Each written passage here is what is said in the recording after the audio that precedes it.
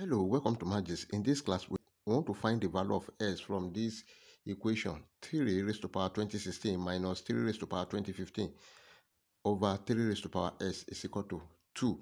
Like, share, comment, and subscribe. Solution.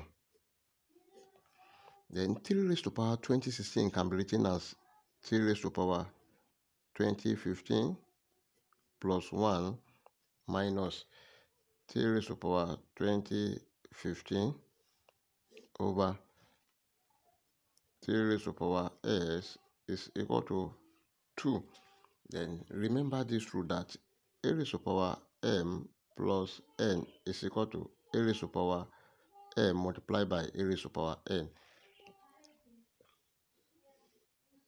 Then this is 3 raised to power 2015 multiplied by 3 raised to power 1 minus 3 raised to the power 2015 over 3 raised to the power s is equal to 2.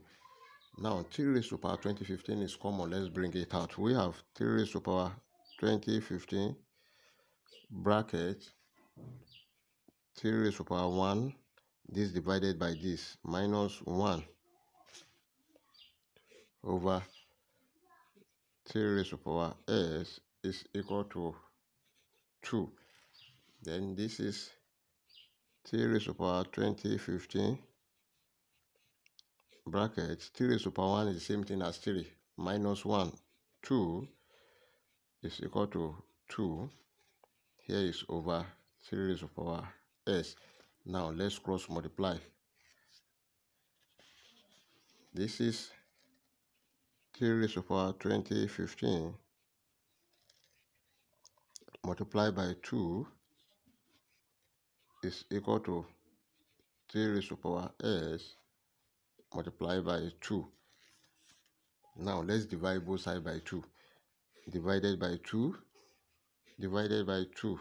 This one will cancel this and this one will cancel this.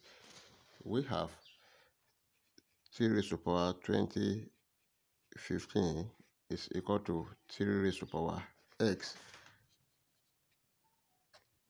Then we have the same base 3, base 3. Therefore, 2015 is equal to x. And our final answer is s is equal to 2015.